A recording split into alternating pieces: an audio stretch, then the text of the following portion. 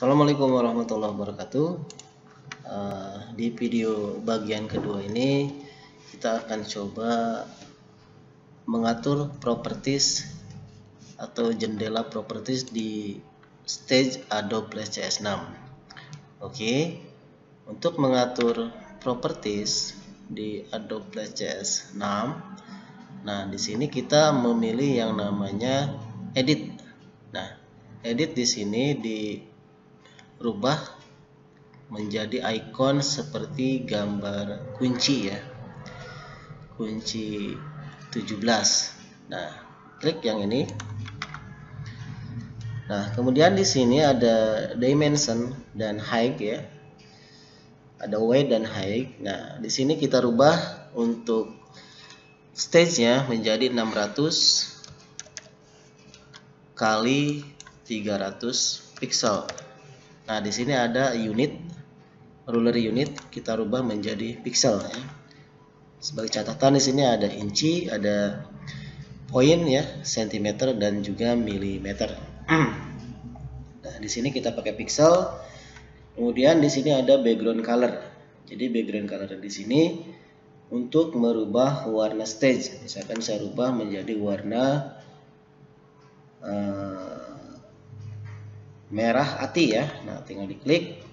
Kemudian di sini juga ada namanya frame rate ya.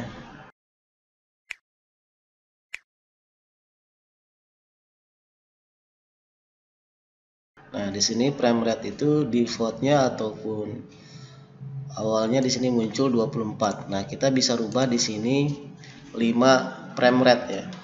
Sebagai catatan frame rate ini untuk 5 ini berarti membutuhkan gambar atau frame sebanyak 5 gambar untuk durasi dalam satu detik ya. Dan oke. Okay. Nah, maka ini tampilan stage yang sudah kita rubah menjadi ukuran 600 x 300 pixel dengan gambar atau color stage warna merah hati ya. Nah, untuk mengatur tampilan stage ya, biar presisi kita pilih di sini view magnification dan pilih fit in window ya. Maka di sini tampilannya akan menyesuaikan atau presisi. Nah ini cara mengatur atau menyeting jendela properties atau stage di Adobe Flash CS 6 baiklah sekarang kita akan coba latihan untuk membuat sebuah animasi menggunakan Adobe Flash CS6. Oke, pertama kita coba uh, sekarang membuat tulisan di sini ya. Klik T, lalu arahkan di stage, misalkan latihan satu ya kemudian warna kita rubah menjadi warna putih karena di sini untuk stage-nya warna merah maka saya pilih di sini putih ya. Oke.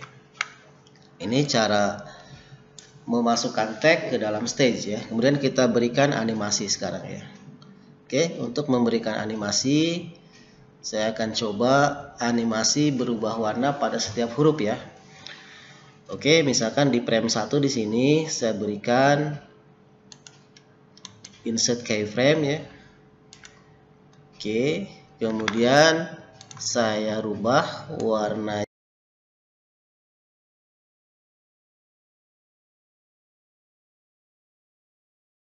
di sini warna ataupun huruf A menjadi warna biru ya. Oke, kemudian di frame kedua ya di sini saya insert lagi keyframe untuk i-nya ya huruf i saya rubah menjadi warna uh, kuning ya. Kemudian di frame berikutnya di frame 4 saya rubah warna atau huruf a di sini menjadi warna biru lagi ya. Kemudian di frame 5 tambahkan keyframe lagi. Di sini latihan satunya serubah menjadi warna uh, pink ya Oke, kemudian di frame 10 saya berikan jeda atau insert frame ya. Oke, sekarang kita coba jalankan. Nah, untuk menjalankannya silahkan pilih kontrol, kemudian